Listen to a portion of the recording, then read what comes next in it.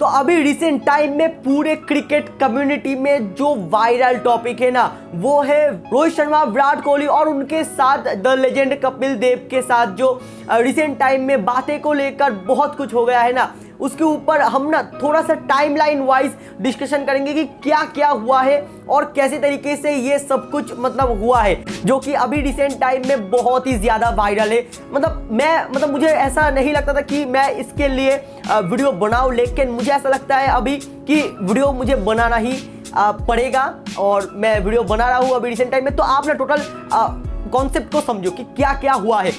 एकदम पहले से लास्ट तक। तो एबीपी न्यूज़ का एक बहुत ही बड़ा जर्नलिस्ट जो कि विथ ऑल रेस्पेक्ट उनको कि वो एक क्वेश्चन करता है कपिल देव सर को। तो कपिल देव सर बताता है कि मतलब क्वेश्चन क्या था? क्वेश्चन सबसे पहले था कि विराट कोहली को क्या ऐसे फॉर्म से क्या इंडियन टीम में टी ट्वेंटी टीम में जगह मिलना लाजमी है? तो उस जगह पर आ, कपिल देव सर मतलब एक पॉइंट ऑफ़ व्यू पर बताता है कि अगर रविचंद्र अश्विन जैसा टेस्ट का सबसे बेहतरीन खिलाड़ी जो कि वर्ल्ड में सेकंड रैंकिंग भी होल्ड करता है तो वो अगर टीम से ड्रॉप हो सकता है तो वर्ल्ड का सबसे बेहतरीन बल्लेबाज जो कि रैंक वन होल्ड करता है तो वो क्यों नहीं बैठ सकता? तो ये एक मतलब बात वो कह दिया था और इस बात को लेकर ही जब कल रोहित शर्मा प्रेस कॉन्फ्रेंस में आता है ना, उनको एक बहुत ही बड़ा जर्नलिस्ट है वो मतलब मतलब ये सब जर्नलिस्ट ना बहुत ही बड़ा बड़ा जर्नलिस्ट है तो इनके लिए ऑल रिस्पेक्ट मैं बता रहा हूँ, फिर भी। तो वो रोहित शर्मा से क्वेश्चन करता है कि जो जो बड़ा बड़ा एक्सपर्ट लोग हैं ना, वो बता रहा है कि कोहली को क्या टीम में रखा जाए, आप लोगों का इसके ऊपर पॉइंट ऑफ़ व्यू क्या है? तो रोहित शर्मा बताता है कि एक्सपर्ट कौन लोग हैं? मतलब वो डायरेक्ट ऐसा बताता है और रोहित शर्मा भाई मतलब बहुत ही एक अलग किस्म का खिलाड़ी है, लेकिन बात ऐसे करते हैं कि भाई, क्या ही बताए मतलब उसके, उस बात में एक जान आ जाता है। तो वो बताता है कि वो एक्सपर्ट लोग कौन है। तो उस जगह पर वो journalist direct Kapil Dev sir का नाम लेता है और बताता है कि कपिल देव सर बताया तो वो बताता है कि हम बाहर का बात इतना नहीं सुनते हैं और बाहर क्या क्या होता है, वो भी हम नहीं सुनते। तो आप ना सुनो एक दफ़ा कि रोहित शर्मा क्या बोलते हैं उसके अगेंस्ट में, ठीक है? देखिए हमारे लिए तो कोई डिफ़िकल्ट नहीं है क्योंकि हम बाहर का कुछ सुनते नहीं है और ये एक्सपर्ट लोग मुझे पता नहीं कौन है। एक्सपर्ट क्यों बोला जाता है? मुझे वो नहीं समझ में कपिल बाजी ने कहा कि भाई देखिए वो बाहर से गेम देख रहे हैं उनको पता नहीं अंदर क्या चल रहा है। हमारा एक कुछ थॉट प्रोसेस है। टीम बनाते हैं हम लोग। उसके पीछे काफ़ी चर्चा होती है उसके पीछे काफ़ी थिंकिंग होती है। लड़कों को बैक किया जाता है लड़कों को मौका दिया जाता है। तो ये सब चीज़ बाहर के लोगों को पता नहीं चलती तो इसीलिए मैं बाहर क्या हो रहा है अंदर? बाहर क्या हो रहा है वो मेरे लिए ज़्यादा इम्पोर्टेंट नहीं है। अंदर जो हो रहा है हमारे लिए वो ज़्यादा इम्पोर्टेंट है। और अगर आप फॉर्म की बात करते हो फॉर्म ऊपर नीचे सबका होता है। प्लेयर का क्वालिटी जो है वो कभी खराब नहीं होता। तो ये हम हमेशा हमें ध्यान में रखना चाहिए। बोल, जब आप ऐसे कमेंट्स बाहर निकलते रहे तो ये चीज़ ध्यान में रखना चाहिए प्लेयर का क्वालिटी कभी खराब नहीं होता। उस क्वालिटी को बैक किया जाता है, क्योंकि प्लेयर के पास क्वालिटी और हम वो क्वालिटी देख के प्लेयर को बैक करते हैं। और मेरे साथ हुआ है एक्स वाई जेड के साथ हुआ है, सबके साथ हुआ है तो उसमें कोई नई बात नहीं है। जब कोई प्लेयर कंसिस्टेंटली इतने सालों से अच्छा करते आ रहा है तो एक, दो फॉर्म एक, दो सीरीज़ या एक आध साल में वो अनदेखा नहीं होना चाहिए।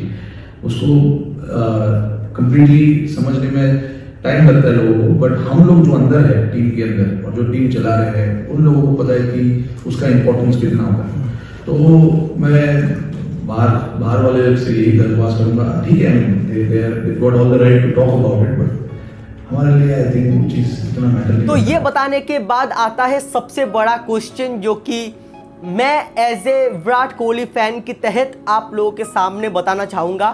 कि विराट कोहली को लेकर इतना क्वेश्चन क्यों आ रहा है? जो खिलाड़ी 14 साल से इंडिया को प्रोटेक्ट करते हुए आ रहा है, आप स्टैट्स उठाकर देख सकते हो कि जब ये सब खिलाड़ी का नामो निशान नहीं था, जो जो खिलाड़ी को लेकर बता रहे हैं कि इनको चांस दे दो, इनको चांस दे दो वो सब खिलाड़ी का नामो निशान नहीं था तब जब विराट कोहली द लेजेंड बन गया है अभी रिसेंट टाइम में तो बताने की बात नहीं है, लेकिन 14 सालों से एक खिलाड़ी ऐसी तरीके से इंडिया को सर्व करते हुए आ रहा है और अभी फैंस लोग बता रहे हैं क्या कि एक साल, डेढ़ साल अच्छा नहीं गया है तो इसी की वजह से उनको ड्रॉप कर दो।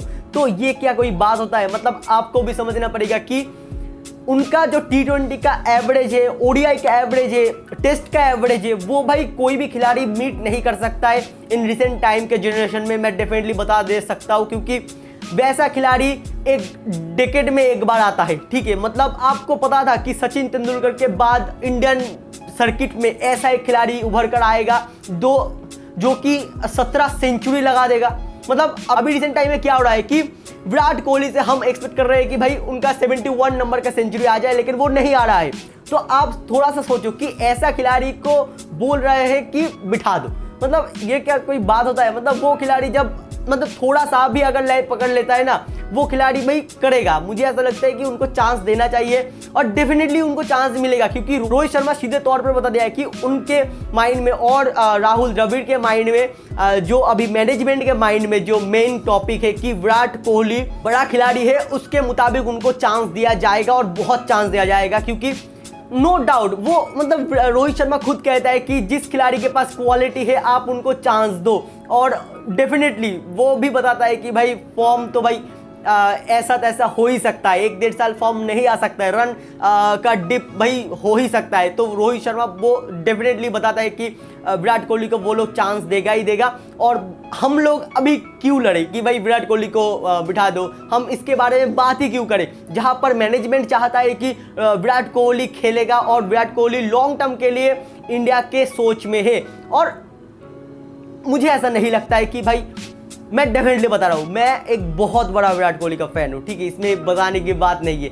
मैं आ, मतलब आप सभी लोगों को बताऊँगा कि ट्रोल करो ठीक है? कोई भी प्रॉब्लम नहीं है लेकिन सोच समझ कर करना चाहिए कि इतना महान खिलाड़ी जो कि क्रिकेट के लिए हमारा इंडियन टीम के लिए इतना साल अकेले के दम पर मतलब एक के बाद एक मैच खत्म करता है एक के बाद एक सेंचुरी लगाता है उनका जब खराब समय आया है ना तो आप लोग साथ छोड़ दे रहे हो।